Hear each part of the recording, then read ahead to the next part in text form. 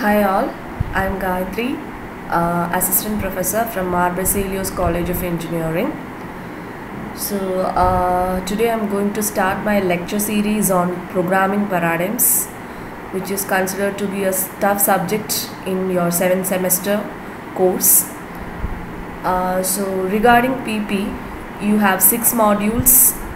First module will be covering about the names, scopes, and bindings that will be available in different programming languages like Pascal, Fortran, Ada, uh, C++, C, uh, all those languages. And then uh, the second module will be covering about the data types across different languages. Data types like uh, records, arrays, uh, sets, strings, files, etc. will be covered. The third module will be having about the control abstractions that is about the modules how the modules are uh, being elaborated. And uh, the fourth module will be covering about the two function i mean uh, languages. One is the scheme language which is an example of a functional language. And the other one is the prolog which is an example of logic programming language. And uh, the fifth and sixth module are completely uh, based on your uh, concurrency uh, applications. That is about threads synchronization semaphores and all those things. So this is a broad overview about your six modules. Starting with the first module your syllabus will be covering about the topic names scopes and bindings. So this first lecture i'll be starting about explaining what are names and bindings and then it goes on. From the second lecture onwards i'll start with scope Okay. So we'll start with what is a name. As you all know, a name is nothing but a mnemonic character representing something. It can be a variable, a type, an identifier or a subroutine, anything. So name is a mnemonic character representation of something. Okay. They, these are nothing but alphanumeric tokens. Okay. So name have two specific meanings. One is about data abstraction and the other one is about control abstraction. What is data abstraction? Names given to data items are called as data abstraction. That is, for example, in C language, you will be associating for the value 5 a variable name num, int num equal to 5. So 5 is the object which is bounded to the name num. So that is known as data abstraction. You are hiding the value inside a name. So that is data abstraction. The second abstraction is about control abstractions. Control abstractions are the uh, nothing but the names given to modules or functions. So you are abstracting the content of a function inside a name. So names normally refer to two abstractions. One is the data abstraction and the other one is the control abstraction. So data abstraction is nothing but the binding of a name to its corresponding object and control abstraction is nothing but the binding of a name to a function. Okay, so this is something related to names. What are names and what are the two meanings behind the names? Going on with binding time. So this is very very important. What is a binding time? To know binding time, we should know first what is binding. Binding, everyone knows it is nothing but an association between two things. Okay? It is an association between two things. Coming on to programming paradigms, binding is nothing but the association of a name to the object to which it binds. Association between a name and the object to which it binds is called as the binding and the time taken for this binding is called as the binding time and the set of all bindings at the given point in a program is called as the referencing environment. So these three definitions are very very important throughout this module. So binding is an association between a name to an object it binds and the time taken for this binding is called as the binding time and the set of all referencing environment at a given point in a program is called as its referencing environment. So these three definitions are very much important in this. Now we'll see the different types of a binding type. So types is otherwise called as notion. So what are all the different types of a binding type? Okay. So as I told you binding is nothing but association between two things and the time at which binding is created is called as the binding time. So different types of binding times. First one is the language design time. Okay, language design time. Imagine that you are going to create a new language just like your C. You are going to design a new language. Okay, you are going to invent a new language like C or C++. So at the time of designing a language, what are all the things that you are going to bind is called as the language design time. For example, you need to decide on the control flow constructs. You need if, you need if else, you need if else ladder, you need while, for, all those things. What are all the control flow structures you need in your language. Second one, it can be of primitive types. Maybe you will be needing int, float, double or uh, only int and float, strings or chars, whatever you need. If you are uh, if you need constructors or you need not have those if you need pointers so all those things. So uh, what are all the things needed to design a new language? That uh, binding is known as the language design time. Second one is the language implementation time so once you have decided to find a language you have decided what are all the features design level features needed in that language. The second thing is to implement the language.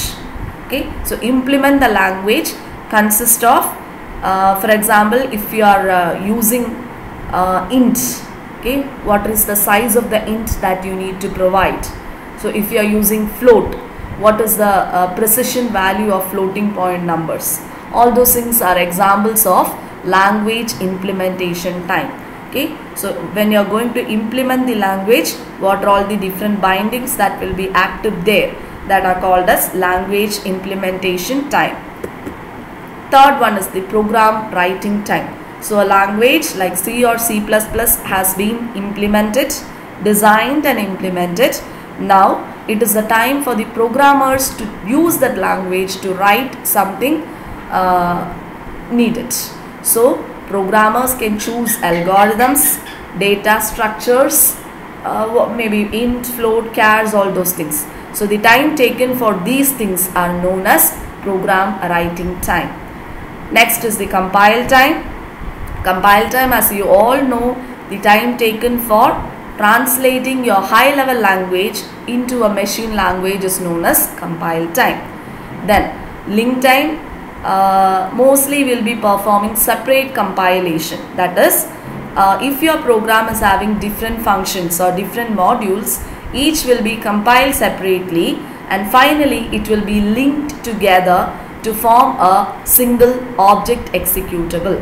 For example if you are going to use a printf printf is having some code okay behind it that will be separately compiled and linked to your program at link time so that time is known as the link time.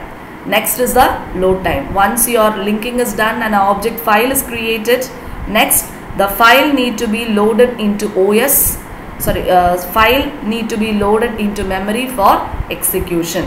So the loading time taken for loading your object program into memory is called as the load time. And finally, the time that need for executing your program is known as the runtime okay so these are the seven types of binding types.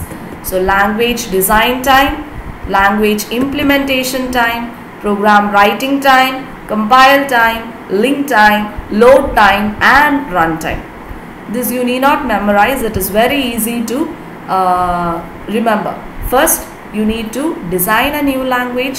So the time taken for that is known as the language design time once you have designed a language next you need to implement the language.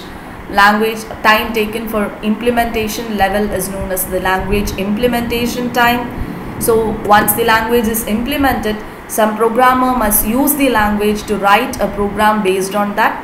So the program writing time. So once the program is written next is the compile time link time load time and finally the run time okay so this is a very very important question. What are all the different types of programming binding times? So next we'll go on with object lifetime. That is binding is nothing but the association of an object to its name. So what is the lifetime of an object so here we have two definitions. One is the bindings lifetime and the other one is the object's lifetime. What do you mean by a lifetime? The time it takes for something to get created till its destruction is known as the lifetime. So bindings lifetime is nothing but the time taken between the creation and destruction of a name to object association is called as the bindings lifetime and the time taken for the creation to the destruction of an object is called as the object's lifetime. Sometimes the name can be destroyed but the object by, uh, will still be in memory. Okay. Now, if you are going to bind to an object that is no longer alive in memory is known as dangling reference. Okay. So, if you are going to write int a equal to 5 this A is called as the name and 5 is called as the object. Okay. Suppose if this 5 is being destroyed from memory and if you are going to still point to that 5 then that is known as the dangling reference. So when you're talking about the object lifetime you need to know the different storage management that is being allocated for the objects. How the objects are stored in memory what types of objects are stored in which type of memory? All those things are needed.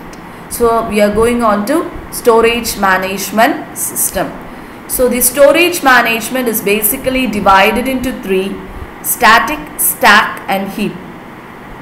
So static as you all know it is uh, giving an absolute address for the variables that retain their value throughout the program execution for example, global variables. The variables whose values will be same throughout the execution of the program are called static variables and static variables will be statically allocated in memory where they will be given absolute address. Second one is the stack. Stack normally you all know it is based on LIFO order last in first out. So last in first out will be basically used for subroutine calls okay so subroutine function call and return. When a function is being called it will be allocated a stack frame. And when it is uh, returning it that stack frame will be deallocated. So all these subroutines will be allocated onto a stack. And finally what is heap? Heap you will be normally using for arbitrary time data. That is the data which will come during runtime is will be stored in heap so three types of storage management static stack and heap. Static is nothing but static variables. That is the variables whose value will remain same throughout the program execution are called static variables and those will be allocated statically onto memory giving absolute addresses. So stack is following LIFO order. All the subroutine calls will be allocated onto the stack. And finally the way I mean the data or objects that are uh, uh, detected during runtime are allocated on the heap. And of the three heap is the most uh, costliest type of allocation. Now we'll see each one of these in detail. First is static allocation. So as I told you objects whose value should not change during the program execution so what are all the variables that are statically objects or what are all the objects that will be statically allocated? One is global variables. You all know instruction for machine language translation. So the instruction which is going to translate your high level language to your machine language is same for all the programs. So that is statically allocated. Local variables whose values will remain same uh, for each and every invocation. Invocation in the sense call. So local variable whose call that is those variables will be static variables whose call will be same between invocations will be stored statically. Numeric and string valued constant literals okay? All the constant literals will be stored statically.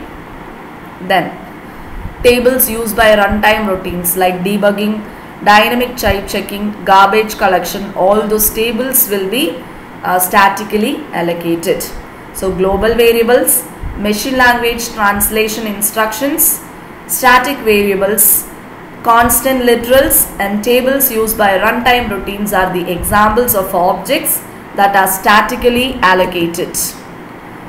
Again, two types of constants are also being statically allocated. One is the named constant and the other one is the elaboration time constant. Now, what is the name constant? As an example, I can give you in the C language the uh, keyword const will give you a named constant that is value is determined at compile time okay Vari I mean uh, object whose value is determined at compile time is called as name constant or manifest constant or compile time constants and these constants are statically allocated example the const keyword in C language now what is elaboration time constant? So before going on to that, first of all what is elaboration time? So here I have given you three times uh, there in your uh, program compilation. First one is the compile time. So we have learned that compile time is nothing but time taken for translating your high level language to a machine level language. So that time compile time is again being split into two. The compile time actually what we will be doing is we will be compiling our program for a set of rules of the language. Okay, so language will be having set of rules. So we will be checking if a code complies with that rules. So that is why we will be getting syntax errors during compile time. So the program syntax will be compiled against the uh, predefined syntax rules of the language. So that will be happening during compile time. Now the exact translation of your high level code into an object level code will be done during the elaboration time. So the exact translation of your high level code to machine language code will be done during the elaboration time. Okay. And finally the runtime uh, concentrates on the execution of your object code. Okay, so compile time, elaboration time, and runtime. So the constants which are taken during the elaboration time are called as elaboration time constants. For example, if you have a va uh, variable uh, int c which is going to get a value during runtime such variables are called as elaboration time constants. Okay. So value remains th uh, same throughout the execution of the program but the value will be known only during runtime. And in C language there is a keyword hash define. Okay, hash define for uh, as an example for this elaboration time constant. Okay. Can you differentiate between two? Did you understand the difference between a manifest constant and an elaboration time constant? Similarly in C sharp, you have const as a keyword for manifest constant and read only as a keyword for elaboration time constant. Okay. So in static allocation, you will be mentioning about what is static allocation, what are all the example objects that will be statically allocated what is a named constant, an example, and what is an elaboration time constant and its example. Now we'll go on with stack allocation. Okay, stack allocation. So I told you like all these subroutines will be stack allocated. Why? Why can't they be allocated uh, you, in static memory itself? Okay. So when a function is called the pure meaning of writing a subroutine or a function is to make multiple invocations okay so for multiple invocations if you are going to use a static memory for each and every allocation a portion of memory need to be allocated okay so that will be incurring more memory overhead. So to avoid that, we will be using a stack. Okay, for each and every uh, invocation of the function, a stack frame will be allocated. And once the function returns, it will be deallocated. Okay, so here you can see an example of a stack. You have a procedure from the main program A is called. So A is inserted into the stack. Then from A, B is called. So B is inserted. From B, either you can, if the if a condition is there, if it is true, you can go back to B itself or else it will go to C. From C it will calls D and so on it will be going on. Okay. So this is the stack frame. So once a subroutine D returns, stack frame will be deallocated. Okay. Now, as you can see in the figure, so the stack is being divided into uh, frames. Okay, the stack is being divided into frames. Each frame is called as an activation record. Okay, stack is being divided into frames and each frame is called as an activation record and the currently executing subroutine will have a pointer called as the frame pointer okay using this frame pointer and a displacement address you can find out the local variables persisting in that frame, um, uh, particular frame. Okay so now for each and every subroutine a stack will be a, a stack frame will be allocated and the stack frame will be having these many contents. That is when a function is being called what are all the arguments passed to that function so arguments to call routines. Then what are the local variables created inside that function? Local variables. Then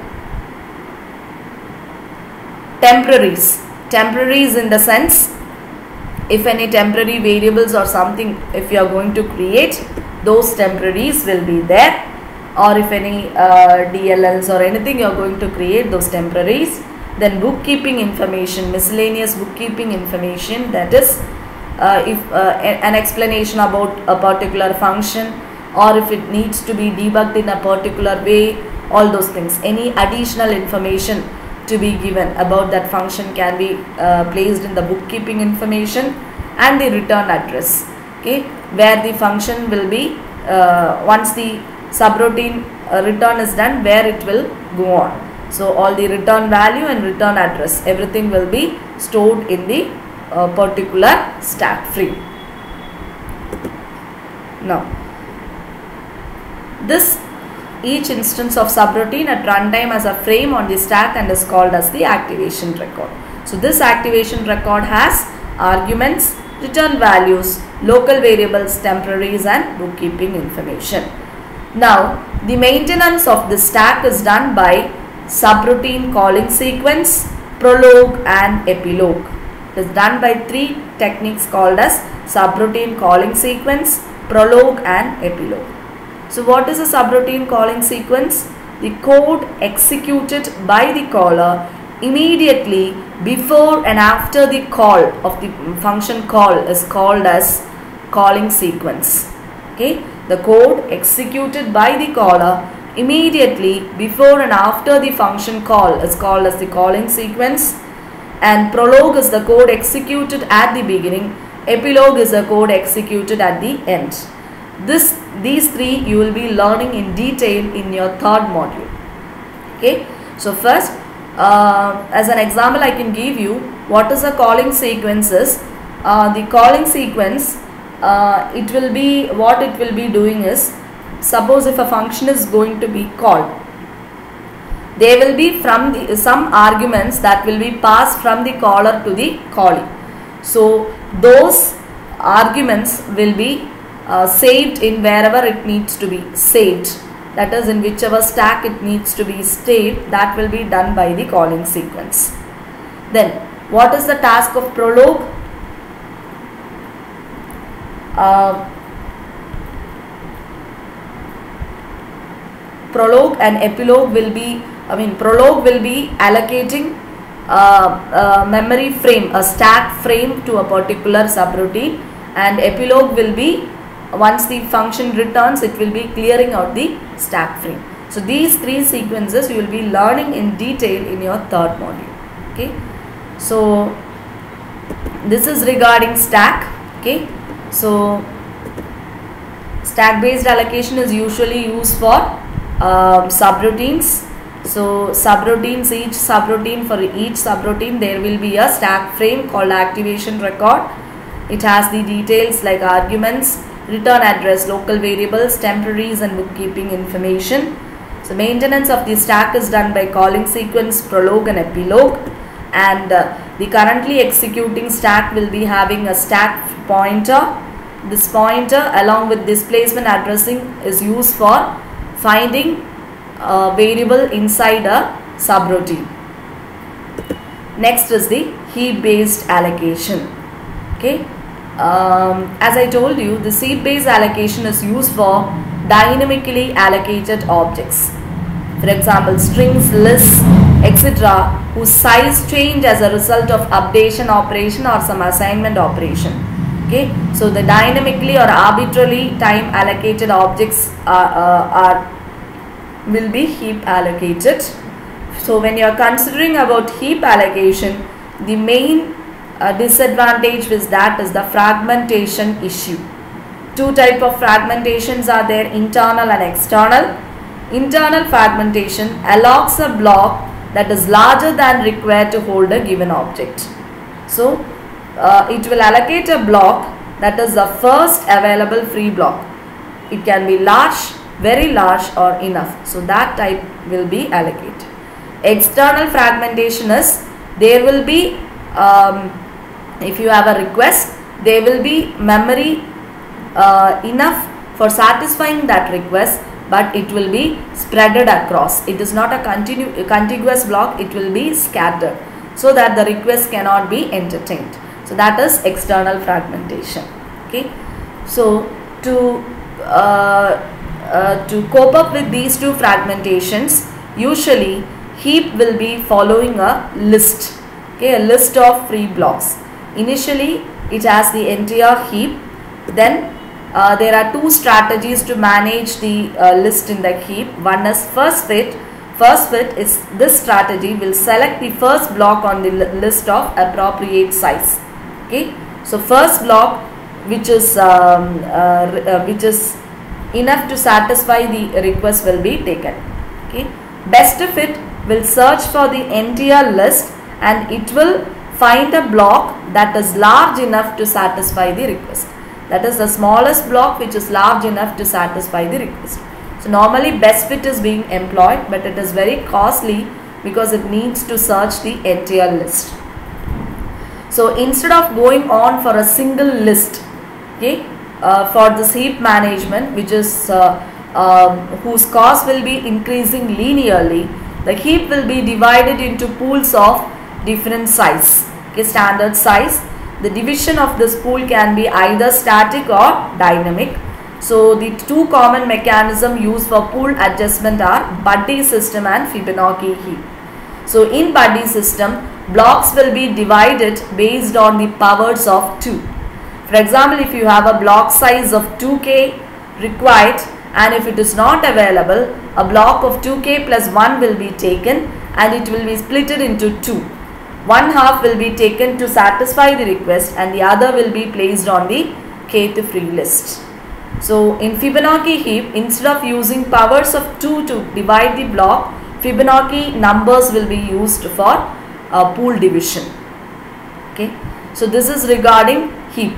Okay. In heap, arbitrary or dynamically allocated objects will be taken. So fragmentation issue exists.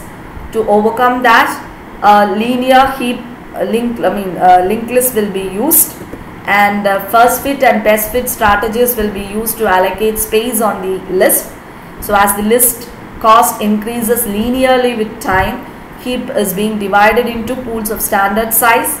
There are two mechanisms, one is buddy and the other one is Fibonacci. So this is again an important question, the storage allocation mechanism of objects. You need to write about static, stack and heap allocation. Okay. So last one is garbage collection. When you are talking about the uh, object stored in memory, we need to talk about the concept of garbage collection.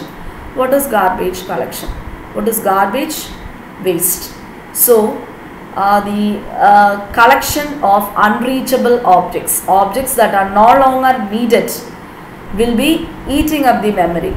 So identifying those objects and removing them is known as garbage collection. That can be either done uh, manually or automatic. So automated process was started in Modula 3, Java and C Sharp. Now in every higher level languages you have automated garbage collection. That is the programmer need not take care to uh, deallocate the unreachable objects. Now if you are going to manually do this, it can lead to two costly bugs. One is as I told you dangling reference. That is a programmer uh, he may create a, a object and once his use is done he may immediately destroy it. But another programmer without knowing this he can refer to this object. Now the object doesn't exist in memory and a programmer is using this object. This situation is called as dangling reference. It is very difficult to identify dangling references. So this is the first type of software bug that is very costly to discover and eliminate. Second one is memory leak. So as I told you, if you are not going to take care about uh, uh, removing the unreachable objects, that object will be eating up the memory. In one uh, strand of time, memory will be full and there will be no more memory available to allocate newer objects. So that is known as memory leak. Memory leak is very common software bug happens in industries. So this is also very difficult to identify and fix it. So in order to overcome these two uh, bugs, normally now this uh, garbage collection is being automated and you have so many algorithms behind this how the garbage will be collected. That is how the unreachable objects will be collected in the programming language. So that also you will be learning in your uh, second mode. Okay. So thank you. With this, uh, these are some of the questions that can be asked in this particular um, section, lecture 1. So these questions are being listed at the back of your textbook. Okay. So thank you for listening. Uh, so I'll be coming up with my second lecture on scopes. So thank you class. So with this I am winding off. We'll see our second lecture with scopes, static scopes and dynamic scopes. Thank you.